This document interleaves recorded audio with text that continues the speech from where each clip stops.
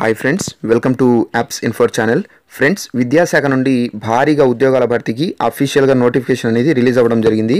ఇందులో మొత్తంగా ఏడు వందల ఉద్యోగాలపైనే పోస్టులనే ఉన్నాయి. ఎంఐఎస్ కోఆర్డినేట్లు డేటా ఎంట్రీ ఆపరేటర్లు సిస్టమ్ ఎనలైజెస్ట్లు అసిస్టెంట్ ప్రోగ్రామర్లు ఎడ్యుకేషన్ రీసోర్స్ పర్సన్కి సంబంధించిన ఉద్యోగాలండి ఇవి. సో మనకి ప్రతి ఒక్క జిల్లాలో ఖాళీలనే ఉన్నాయి. కాకపోతే అవుట్ సోర్సింగ్ పద్ధతిన ఈ యొక్క పోస్టులను భర్తీ చేయడం జరుగుతుందన్నమాట.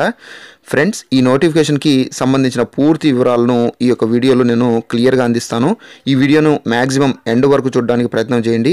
ఇక వీడియోలోకి వెళ్ళే ముందు ఇప్పటి వరకు మన ఛానల్ని ఎవరైనా సబ్స్క్రైబ్ చేయనట్లయితే రెడ్ కలర్లో ఉండే సబ్స్క్రైబ్ బటన్ క్లిక్ చేసి పక్కనే ఉన్న బెల్ ఐకాన్ యాక్టివేట్ చేసినట్లయితే నేను పెట్టే ప్రతి వీడియో అందరికంటే ముందు మీరు నోటిఫికేషన్ రూపంలో చూడవచ్చు. ఫ్రెండ్స్ ముందుగా మనం పోస్టులు దానికి సంబంధించిన క్వాలిఫికేషన్ కానీ చూసుకున్నట్లయితే ఎంఐఎస్ కోఆర్డినేటర్లకి బీఎస్సీ కంప్యూటర్ సైన్స్తో పాటు పీజీడీసీ చేసిన వాళ్ళు లేదంటే బీఎస్సీలో ఎంపీసీ చేసి పీజీడీసీ చేసిన వాళ్ళు లేదంటే బీసీఏ డిగ్రీ చేసి ఎంఎస్ ఆఫీసు ఉన్న వాళ్ళు ఎంఐఎస్ కోఆర్డినేటర్లకి అప్లై చేసుకోవచ్చు. అలాగే డేటా ఎంట్రీ ఆపరేటర్లకైతే ఏదైనా డిగ్రీ చదివిన వాళ్ళు అప్లై చేసుకోవచ్చండి. సో దాంతోపాటు మనకి డీసీఏ అంటే diploma computer application with MS office మన దగ్గర సర్టిఫికేట్ ఉండాలన్నమాట. డేటా ఎంట్రీ ఆపరేటర్లకి అలాగే సిస్టమ్ ఎనలైజిస్ట్కి బీకామ్ లేదంటే MS MCom with Tally accounting package చేసిన వాళ్ళు. సో బీకామ్ అయినా పర్వాలేదు ఎంకామ్ అయినా పర్వాలేదు. దాంతోపాటు టాలీ చేసిన వాళ్ళు అప్లై చేసుకోవచ్చు. ఇక అసిస్టెంట్ ప్రోగ్రామర్కి అయితే ఎంసీఏ లేదా బీటెక్ బీటెక్లో కంప్యూటర్ సైన్స్ చేసిన వాళ్ళు అప్లై చేసుకోవచ్చు లేదంటే ఎంఎస్సిలో కంప్యూటర్ సైన్స్ చేసిన వాళ్ళు అప్లై చేసుకోవచ్చు. సో దాంతోపాటు మనకి ఒరాకిల్ నాలెడ్జ్ అనేది ఉండాలి.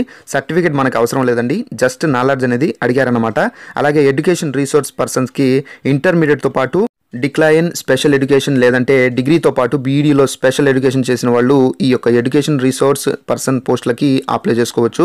ఫ్రెండ్స్ ఆన్లైన్ అప్లికేషన్ డేట్ అనేది చాలా తక్కువగా ఉంది.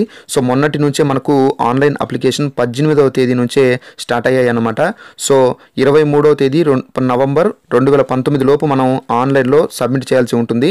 చాలా తక్కువ టైం ఉంది కాబట్టి అర్హులైన వారు వెంటనే అప్లై చేసుకోండి. మనకి ఈ యొక్క నోటిఫికేషన్ ఎడ్యుకేషనల్ డిపార్ట్మెంట్ సమగ్ర శిక్ష తెలంగాణ హైదరాబాద్ నుండి ఈ యొక్క నోటిఫికేషన్ విడుదలవ్వడం జరిగింది. ఏజ్ గురించి మాట్లాడుకున్నట్లయితే ముప్పై నాలుగు సంవత్సరాల లోపు అభ్యర్థులు ఎవరైనా సరే ఈ జాబ్స్కి అప్లై చేసుకోవచ్చు.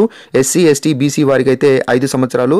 ఫిజికల్లీ హ్యాండిక్యాప్డ్ అభ్యర్థులకు అయితే పది సంవత్సరాల వరకు అప్పర్ ఏజ్ రిలాక్సేషన్ అనేది వర్తిస్తుంది. ఇక ఎగ్జామినేషన్ సెంటర్స్ అనేవి హైదరాబాద్లో ఉంటాయండి. ఇక అప్లికేషన్ ఫీజు చూసుకున్నట్లయితే ఆరు వందల రూపాయలు అప్లికేషన్ ఫీజు ఏ క్యాస్ట్ వారైనా సరే పే చేయాల్సి ఉంటుంది. అది కూడా ఆన్లైన్లో పే చేయాల్సి ఉంటుంది.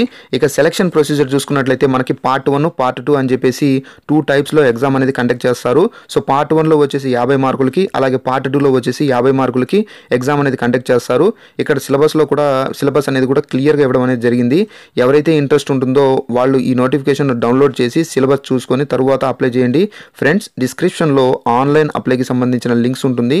సో మీరు అక్కడ నుంచి ఆన్లైన్లో అప్లై అనేది చేసుకోవచ్చు. Thank you for watching this video. All the best.